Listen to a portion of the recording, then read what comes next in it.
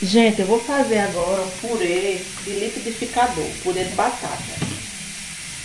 Então, o que é que eu tenho aqui, ó? Aqui eu tô com leite. Vou, eu tenho duas batatas grandes cozidas e uma colher de manteiga.